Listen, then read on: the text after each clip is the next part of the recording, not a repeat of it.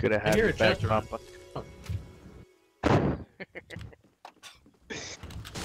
Oh, this is gonna be a dump.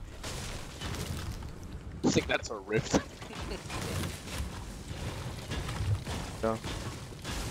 Yo. Someone took our rift.